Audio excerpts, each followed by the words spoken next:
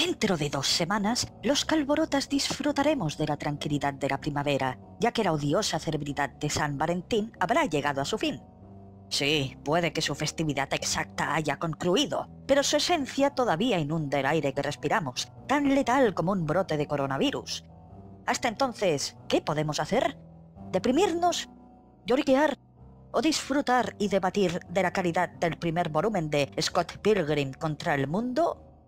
Creo que más de uno ya sabe la respuesta, pero antes de eso, tenemos que hablar de ciertas cositas piadosas. Qué película tan curiosa y peculiar, ¿no? Declaró su existencia ante el mundo con uno de los diseños más hórridos y nauseabundos jamás perpetrados por Hollywood, no tan espeluznantes como Cats, debo aclarar. Y después acabó convirtiéndose en una especie de ejemplo a seguir, en el típico habitante de pueblo que todos conocemos y amamos por su sencillez y humildad. ¿Cómo lo hizo? Se debe, principalmente, a tres razones. Primero, el estudio no ignoró las reclamaciones de la fanaticada. Al contrario, el equipo de la película decidió retrasar la cinta, pulir el diseño original y entregarnos una adaptación visual mucho más fidedigna y agradable a lo que tenían en mente. Y yo respeto esas cosas, así como muchos otros allá afuera. Pero también existe el segundo punto. Existe gente tóxica allá afuera, y también existen películas abominables. Un ejemplo que reúne ambas fórmulas se titula Birds of Prey, una adaptación, entre comillas, que atentaba contra todo lo que debía representar y que, como resultado, pereció ante la taquilla de forma brutal y certera. Fue tal el golpe que, en un intento desesperado de recuperar audiencia, los seguidores de esa abominación trataron de desprestigiar a Sonic, que se estrenaba poco después, por misoginia, violencia y gilipolleces así, lo que nos lleva al tercer y último punto. Sonic no trata de ser más de lo que puede ser, no se toma demasiado en serio a sí mismo y cumple su función, que es adaptar a un personaje de videojuego a la gran pantalla y escribir una historia correcta y concisa con él, desde el respeto mutuo entre creador y adaptador. Como resultado, obtenemos una película que puede disfrutarse sin que el lector deba conocer toda la franquicia que hay detrás y a su vez una adaptación plagada de guiños ocultos que harán las delicias de más de uno. Y no me refiero a guiños que no aporten nada a la película precisamente, que como en todos sitios, los hay, pero me sorprende que varios de ellos contribuyan a la personalidad de X personaje o al desarrollo de la historia, cuando otros habrían colocado ciertas referencias simplemente por ponerlas y apelar a la nostalgia fácil. No me malinterpretéis, estamos ante una cinta que apela a la nostalgia, totalmente. Es la viva imagen de la típica película de los 90, con Jim Carrey incluido. Pero, a su vez, está muy bien hecho, porque el argumento es dinámico y nunca se detiene, y la personalidad de cada personaje es definida, y en ciertas ocasiones, brillante.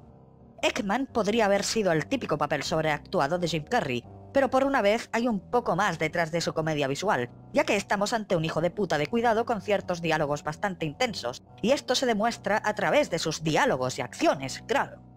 Es una obra bastante comprimida, humilde y decente, y creo que varios la amarán por ello, y por matar a Harley Quinn, claro.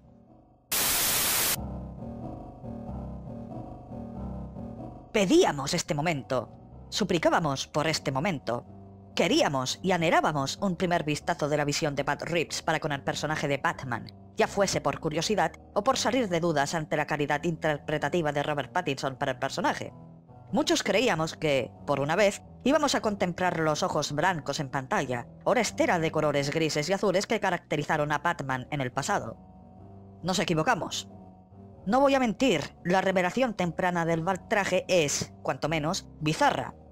Partiendo por el extraño diseño de su símbolo o la contrapuesta realización de su capucha de cuero, que contrasta con el estilo táctico del disfraz, estamos ante un diseño bastante único y peculiar, pero que también conlleva ciertos problemas o por lo menos lo hace si no miramos más allá de todo esto.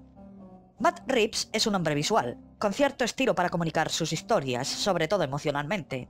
Que solo podamos ver el emblema del murciélago y la barbilla de Pattinson no ha sido casualidad. Yo creo que Reeves está tratando de decirnos algo con muy poco. Es decir, quiere que seamos testigos de la clase de Batman que adaptará en la pantalla grande. ¿Cómo puedo estar seguro? En primer lugar, observemos el filtro rojo que rodea todo el vídeo. Está ahí única y exclusivamente para generar debate, ¿no?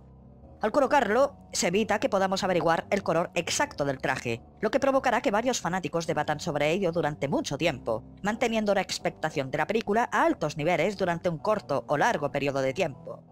Esta, sin embargo, es la razón superficial. Déjeme preguntarle algo. ¿Por qué el filtro es rojo? Podría ser de color azul, por ejemplo, ya que Batman suele relacionarse con ese color u otros más apagados. Por un lado, estoy seguro de que esto es una referencia al estilo de las portadas de Batman Dark Victory, donde cada personaje poseía una silueta de X color. Por el otro lado, creo que esta es la forma de Reeves de adelantarnos qué clase de personalidad tendrá Bruce. Estamos ante un Batman que lleva, supuestamente, dos años luchando contra el crimen. Quizás sigue bastante vengativo y furioso con la corrupción que rodea a su ciudad, dejándose llevar por sus emociones constantemente. Quizás por eso la capucha apenas cubre su barbilla y mejillas, porque estaremos ante un Batman con total libertad de movimiento para con sus expresiones faciales. Esto, sin embargo, nos lleva a un punto que ya he debatido en mis redes sociales y que muchos otros han tocado ya con anterioridad, el símbolo del murciélago. Sí, puede que esta interpretación esté igual de inestable que la de Michael Keaton o Ben Affleck, pero eso no significa precisamente que deba matar criminales, ¿o sí? Nada que ver. Quizás la inestabilidad mental de este Batman viene de otro lado. El arma que mató a sus padres. Supongamos que Joe Chill arrojó el arma y huyó despavorido después de matarlos. Bruce la recogió y se la guardó durante todos estos años, como en Batman Yard Chu. Se convierte en Batman y decide moldear su símbolo con las piezas del arma que aterró su corazón cuando era niño. Ahora protegerán su corazón durante su misión para limpiar la ciudad, pero también serían un recordatorio constante de por qué hace lo que hace y qué no debe hacer jamás. Batman es un mal necesario que existe para que otro niño no deba experimentar más nunca lo que él vivió en su infancia. Pero, a su vez, jamás arrebatará una vida, ya que por algo lleva el símbolo de un murciélago en su pecho, y no el símbolo de una pistola. El murciélago servirá para demostrar que existe luz en la oscuridad, y también sembrará el terror en el corazón de los criminales cobardes y supersticiosos. Él será la venganza, pero también la noche. Bruce Wayne se convertirá, simple y llanamente, en Batman. Uno que, además, guarda similitudes con el diseño de la Golden Age, recordado solo porque su Batman mataba criminales. Y ahora, Reeves resucita el diseño y le otorga un nuevo propósito. No sé si es arte, pero me gusta, y mucho.